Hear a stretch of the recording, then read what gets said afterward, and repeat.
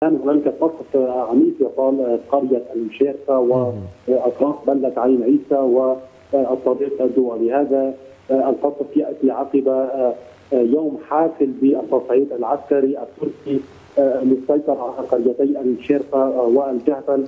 كانت هنالك محاولات للتسلل إلى تلك القريتين اللتان تقعان شرق بلدة عين عيسى ب 2 كيلو متر لكن قوات سوريا الديمقراطيه أعلنت أنها ردعت الهجوم ولم تتمكن الفصائل المرتزقة من الوصول إلى الطريق الدولي والسيطرة على قريتين، الآن هنالك احتجاجات شعبية أيضا على الطريق الدولي بالقرب. من عين عيسى على المدخل الشمالي. هنالك شبان ومتظاهرون قدموا قدموا من منطقة منبج ومناطق أخرى في إقليم الفرات للاحتجاج ضد الانتهاكات التركية ومقابل الصمت الروسي حيال الانتهاكات الجاريه في عين عيسى. هذه التظاهرات أستاذ زانا يعني استمرت لأيام، هل من استجابة من قبل الجانب الروسي؟ هل من رسائل طمأنة لهؤلاء المتظاهرين أم مطالبات هذه التظاهرات لا تجد آذانا صاغية لدى الجانب الروسي؟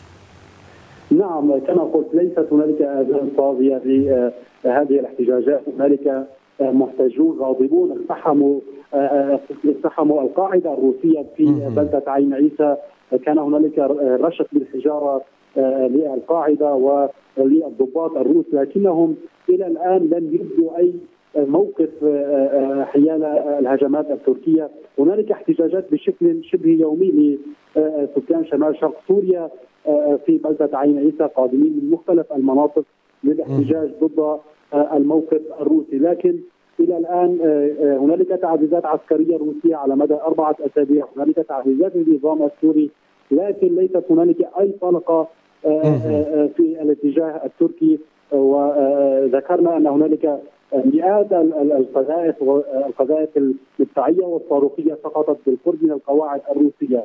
يعني إلى الآن حتى قوات سوريا الديمقراطية والمجلس العسكري في الأرض نوه إلى أن من الضروري أن تقف روسيا امام الانتهاكات التركيه والا فوجودها هنا لا يعني أي شيء يجب أن تلتزم. روسيا باتفاق وقت اطلاق النار بموجب اتفاق نعم. سوتشي الموقع في الثاني والعشرين من شهر تشرين الأول أكتوبر من العام الماضي. طيب أستاذ زانا تحدثت عن تعزيزات عسكرية لقوات الحكومة السورية وللقوات الروسية، أين تتركز هذه التعزيزات؟ هل يوجد أي تعزيزات على خطوط التماس المباشرة مع الفصائل الارهابيه الإرهابية التابعة للاحتلال التركي؟ ليس هنالك أي وجود روسي وللحكومة السورية في خطوط التماس سوى ثلاث نقاط مشتركة أنشئت مسبقا بين قوات سوريا الديمقراطية والقوات الروسية والحكومة السورية. هذه القوات والتعزيزات العسكرية تأتي في الخطوط الخلفية وفي محيط بلدة عين عيسى وهنالك أيضا إنشاء للقاعدة عسكرية جديدة للقوات الروسية بالقرب من قرية الجالطة 20 أو 25 كيلومتر جنوب بلدة عين عيسى، يعني هذه التعديلات تأتي في ظل التصعيد العسكري اليومي هنالك محاولات تركية للسيطرة على قريتي الجهبل والمشيرفه اللتان تعتبران قريتان استراتيجيتان من حيث الموقع. هنالك حيث إذا سيطرت الفصائل المرتزقة تتحكم بجغرافية عين عيسى بكل سهولة، لكن إلى الآن قوات سوريا الديمقراطية تعلن التصدي لجميع الهجمات. وهنالك أنباء تتحدث عن مقتل جندي تركي خلال الاشتباكات التي دارت أمس الجمعة في الساعات المتاخره من ليلة امس. طيب أستاذ زانا في ظل كل ما تحدثت به من تصعيد عسكري للاحتلال التركي وفصائله الإرهابية، كيف يبدو الوضع الإنساني في البلدة؟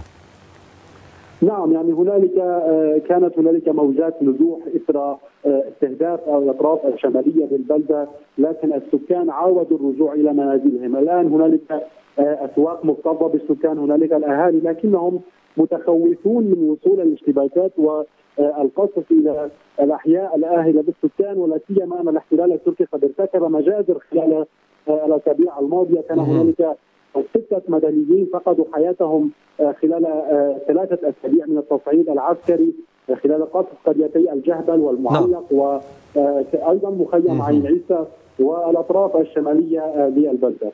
أنا أشكرك جزيل الشكر الصحفي والنشط الإعلامي زانا سيدي شكرا جزيلا لك. كنت معنا مباشرة من الشمال السوري.